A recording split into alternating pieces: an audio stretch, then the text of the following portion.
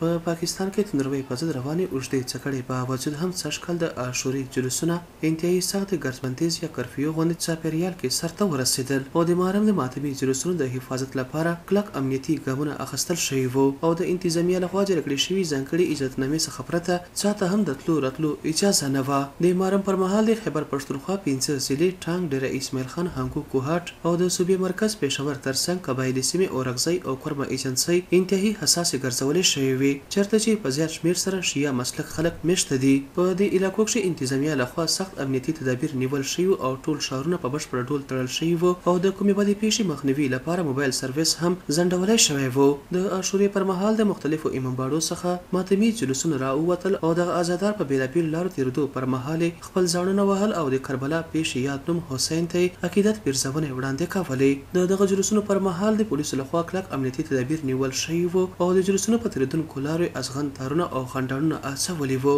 او د وړاندې څخه د انتظامیه څخه جاري کړې شوي کارډونو څخه پرته یې چا ته اجازه نه ورکوله چې په دغه لارو تېر شي. په دې وخت پولیسو د پوځ ځمکني ملاتړ ترڅنګ هوایي څارنه هم ترلاسه وه. چې ورسره يې په سړکونو د ټانکونو چلېدو سره يې د هليکاپټرو الوت هم ليدل کېدو. که څه هم په خيبر پښتونخوا صوبه کې په رسمي طور کرفيو نه وه په ځای کړی شوې خو د انتظاميه له خوا پورته کړی شوي انتظاماتو په وجه سړکونه بازارونه په مکمل طور بند وو چې له وجې انساني ژوند په بشپړ ډول په ټپه ودرېدلی وو. په وروستيو کې د خيبر پښتونخوا پوليسو ستر افسر آی جي پي صلاح الدين محسود خبريالانو ته ويلي وو چې په ټول هېواد کې خيبر پښتونخوا صوبه انتهايي زياته حساسه ګرځولې شوې ده. همدغه وجه ده چې دلته پولیس زیات چمتو کړی شوي دي چې تر څو د هر رقم ورانکاري او د ترهګري د پېښو مخه ونیسي. د ډېره اسماعیل خان سیمې یو سیمهاییز تن آمن صیب میسود ډیوه ته وايي، د نیول شوي اقداماتو په وجه انساني ژوند زیات متاثره شوی، هغه خپلې ستونزې ډیوه ته څه داسې بر سېره کړې. عام خلک ته ډېر تکلیف و، لکه سپیشلي چې کیم کسان هسپتال ته تلل هغې مریضونو مطلب ایمرجنسي مریض کېدای شي،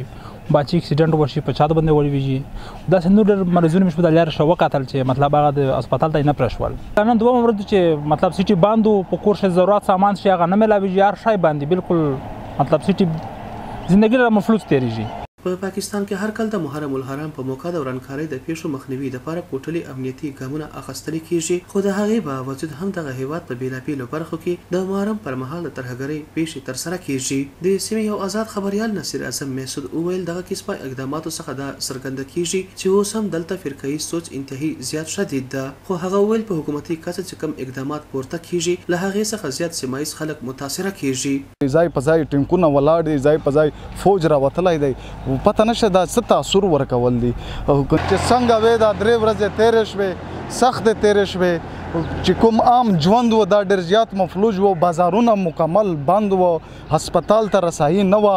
او د خلکو د ضرورتو نه بالکل مفلوج و ایون ما غوند یو صحافي سړای ها ما لپاره ها کارډونه رته ایشو کړی شوی وو خو هغه نه باوجود هم ځای په ځای د کوم سکیورټي ادارې دي یا پولیس دي په د چیک پوسټونو باندې تنګول نو زه دا سوچ کوم چې عام خلک به څومره تنګ وي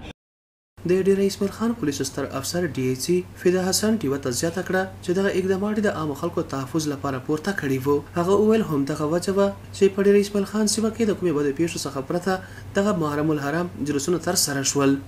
چې څنګه تاسو ته ښکار دلته د سکیورټي او د جلوس حواله سره موږ خپل پورا او فل پروف بندوبست کړی دی او د کی تقریبا 5500 نه زیات پولیس ولا موږ ته دی باندې لګولې دی په ډیوټي باندې او د دې خپل روف ټاپینګ دی ګڼې دي وي که څه هم پاکستان کې شیعه مسلک خلک په شمېر انتهايي کم دي خو بیا هم دلته فرقه ییز سوچ انتهايي زیات شدید ده پوهان وايي که څه هم دغه فرقه ییز سوچ د ایران او د سعودي عرب ترمنځ د اختلاف نتیجه ده، خو له دې څخه دلته سیمه ییز پښتانه زیات متاثره کېږي. عدنان بېټنی، وایس اف امریکا، ډیورنډ.